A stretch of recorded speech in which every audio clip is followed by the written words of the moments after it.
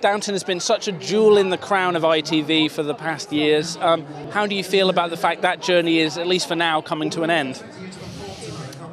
Um, well, all good things must come to an end, and uh, I think a few of the. Uh, you know, producers and Julian has said that it's best to end thing when things are still um, firing on all cylinders, rather than people moaning about we've seen the same old storylines and all that kind of thing.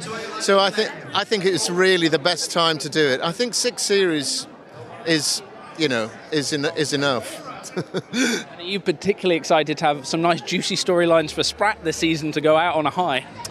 Um, well, yeah, it's certainly an unexpected turn for. It wasn't where I thought Spratt was going at all. Uh, I thought there was going to be some kind of. Um, I was hoping for an action sequence, to be honest, with um, you know, with my wayward nephew. That didn't happen, but other stuff did, which was um, fascinating. Dame Maggie Smith, Mags, is great fun.